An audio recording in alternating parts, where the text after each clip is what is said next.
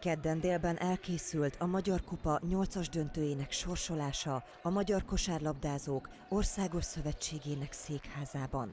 A Duna Aszfal DTKH Kecskemét a Nyíregyházával fog megmérkőzni az elődöntőbe való kerülésért. A vezetőedző úgy gondolja, hogy mint az alapszakaszban, most is az éppen aktuális forma lesz a mérvadó a nyírségiek ellen. A Kecskeméti Televízió sportmagazinjának volt vendége Forrai Gábor. Az edző elmondta, nagyon jól kezdett a Kecskemét ebben a szezonban. A harmadik helyen álltunk sokáig a, a tabellán. Azt gondolom, hogy bőven erőn felül teljesítettünk, és ez mindaddig kitartott, amíg, amíg nem jöttek ilyen apró sérülések, illetve betegségek. Ugye azért azt tudni kell, hogy amikor a szezonnak nekivágott a csapat, akkor a szakvezetés egyértelműen azt az utat jelölte ki célul, hogy hat felnőtt játékossal, tehát az öt légiós és a Wittmann Krisztián, illetve az összes többi a keretben lévő játékos, akadémista, vagy Faszekas Máté, illetve Kis Dávid, akik szintén 19-20 éves srácok, akiket ugye oldalágról hoztunk, hogy ő nekik adunk olyan feladatot, hogy egyúttal a jövőt is építjük.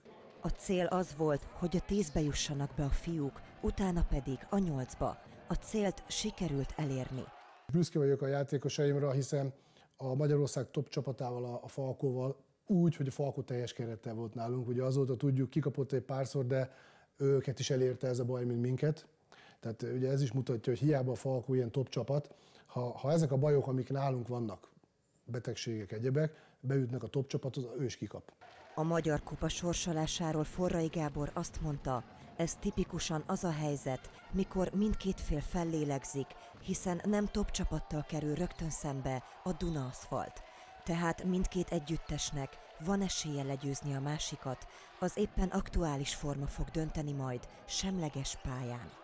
A tornát Debrecenben rendezik meg, a tervek szerint nézők előtt. Az időpont még kérdéses, az országgyűlési választások függvényében vagy március 31-e és április 2-a, vagy április 1 -e és április 3-a között rendezik meg a döntőt.